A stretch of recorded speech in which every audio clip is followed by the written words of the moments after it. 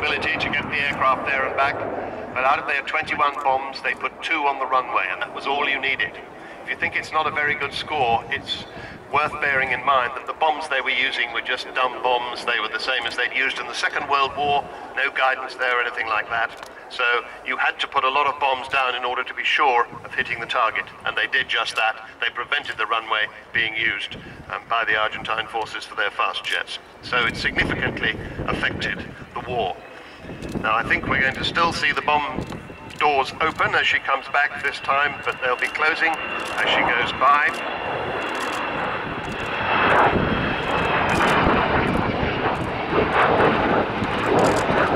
Barry Masefield presses the switch and the bomb doors close.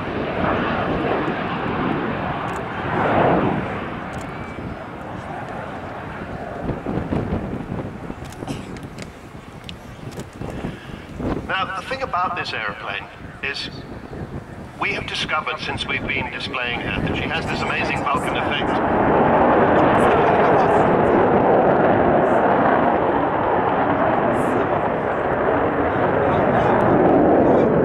People flock, they, they, they stop what they're doing to come and watch Vulcan. And we've also discovered that small children who've never seen Vulcan before, they ask when they're asked what they think of her, they think she's some kind of new stealth bomber. They don't know that she's actually 50 years old. And that's very important because we want to use this aeroplane to inspire the youth of the country to become engineers and designers. We need half a million new skilled engineers in the next seven years. Vulcan can be used to do that.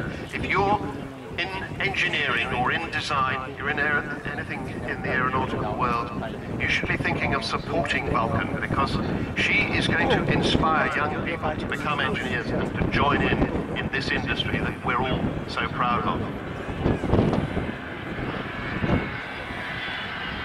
This year she has a new name painted on the nose, Spirit of Great Britain.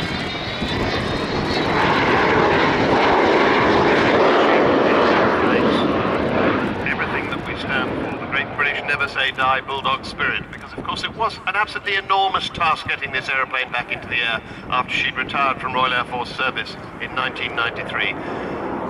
There were naysayers and doommongers galore who said it couldn't be done, it was quite impossible, and she is indeed the most um, exotic and complicated return to restoration to flight of any historic warbird there's ever been.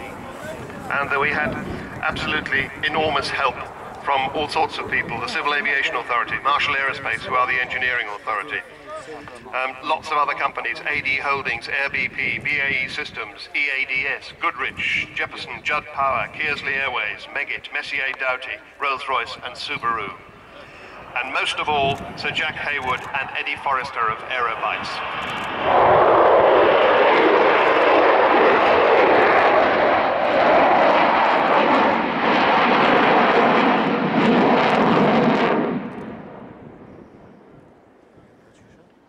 Was really, I think, about as much as you're going to hear of those engines at full chat.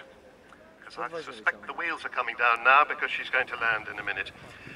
I do recommend that when she's down, please do go down to the Vulcan village right at the far left-hand end of the display area. The reason for it being so far away is that's where she'll be parked. And if Taff Stone, the chief engineer, is feeling in a good mood, you might even be able to get a tour round the aircraft. It'll cost you a little money. They, they ask for a, a donation of folding money.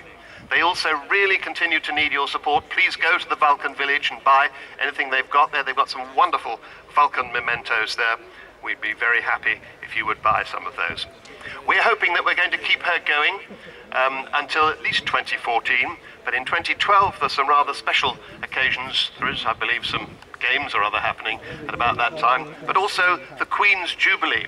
And the Queen is actually very fond of the Vulcan, um, and she wants her, we, we believe, to fly over Buckingham Palace in 2012.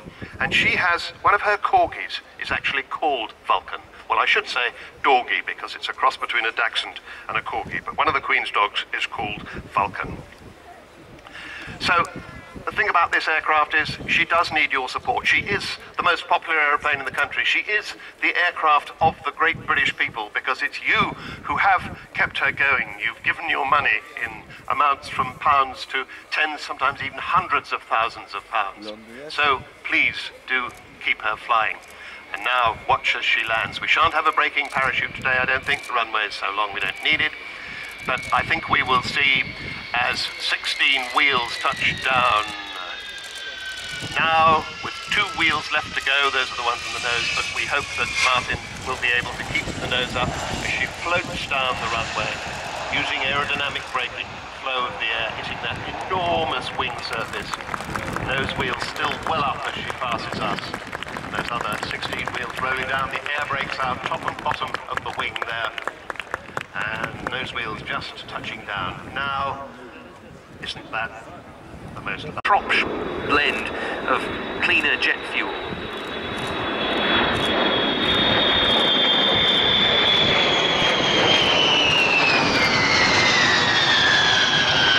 aircraft can be traced way back to November 1945 and the YB-52 prototype which first flew on April the 15th, 1952 out of Renton Field, Washington State.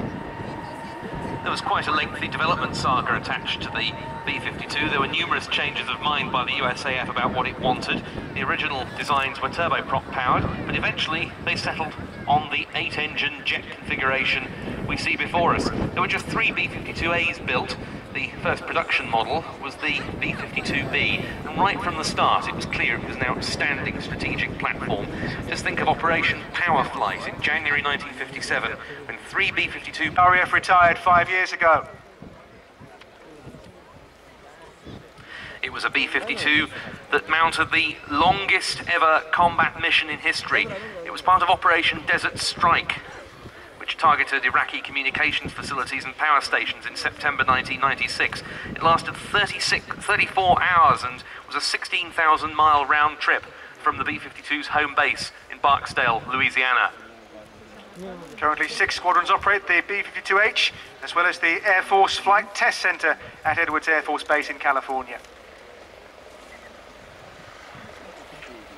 Quite a nice curved approach from the B-52 here before lining up for finals on 2-7.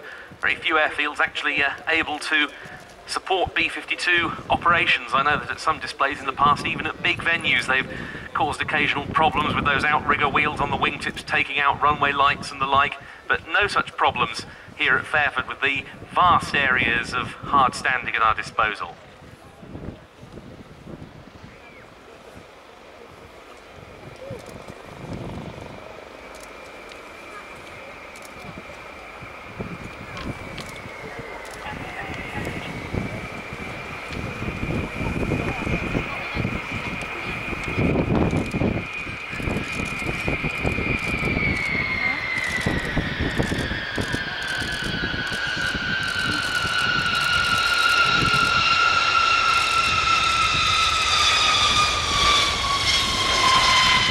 braking parachute.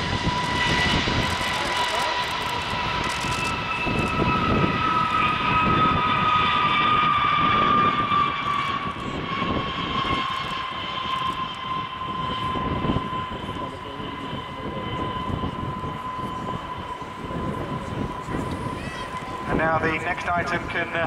Thank you very much uh, indeed. Uh, ladies and gentlemen, uh, good afternoon. Um, I'm very happy in the name of uh, the Chief of uh, Air Force, uh, General Paloméros, to uh, present you today the uh, 2010 Patrouille de France.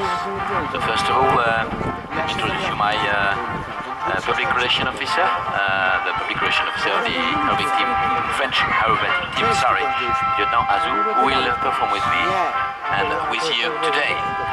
First of all, sorry, in a few minutes uh, we will do that.